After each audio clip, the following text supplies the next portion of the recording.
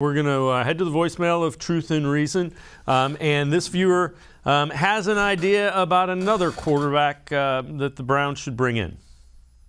So here's what I think we should do with Baker. Next year is his fifth year. That means that we are going in to his fifth year without him signed, which means we're basically taking a one year gamble on Baker. So why not do this? Why not flip Baker for whatever we can get, a second or third round pick to Carolina, the Giants, uh, Commanders, or, or wherever we can we can send them off to, and sign Jameis Winston, who is also a first round draft pick, uh, also uh, super talented, but he's six four, can move, and has a really strong arm, and really seemed to be getting it last year with the Saints. So if you're going to take a chance on a one year experiment, why not do it on the guy who's taller, more athletic, and maybe has the game slowing down for him rather than betting on a one year all in deal for Baker, who's only six feet tall and doesn't have the same athletic attributes that Jameis has.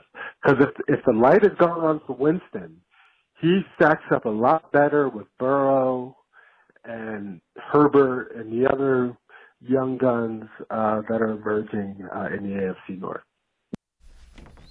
Uh, hey, and I'm, I'm um, and again, we appreciate all the voicemails, and I, I understand the point. Um, I would not trade Baker to bring in Jameis Winston. If you want to bring in Jameis Winston to compete, that's one thing. Um, I would not walk away from Baker to go to Jameis. He's got as many questions about him uh, as Baker does. Uh, you know, he's a couple years older, and you still don't know who he is. Yeah, that's very true. He's also coming off an ACL, which is a little different. Um, listen, I love Jameis Winston. I've loved Jameis Winston for a long time. I was a big Florida State fan when he was there, and um, loved watching him play. I think he can. I think he does have the talent to be a great NFL quarterback, and I think he kind of showed that last year. Um, I think the the surgery helped him. The eye surgery, you know, sitting back behind Drew Brees has helped him. But I completely, completely disagree that he is athletically more gifted than Baker Mayfield.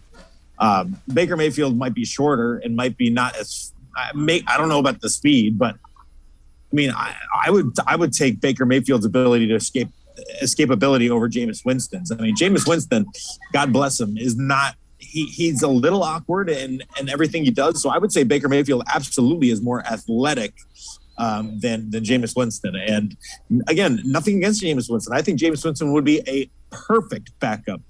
But I don't know if he'd be willing to do that. I think he actually, I think he could actually go be a starter somewhere. So I hope that happens for him. But I think Jameis Winston and Baker Mayfield are, are in certainly in different categories. I, I know that Jameis is taller, and I that seems to be a, the crux of a lot of um, you know comments from fans. I don't think height is nearly as important as people think it is, um, and that's coming from somebody who was a taller quarterback. So I don't know. I, I just think that Jameis Winston would would probably get a starting job elsewhere. If I were a GM, I would give him a starting job. Um, but if I'm the GM of the Cleveland Browns, I don't know if I would you know bring him in because I think there would be a point where you know or I, I don't know. I would bring him in, but I just think he could get a better option elsewhere.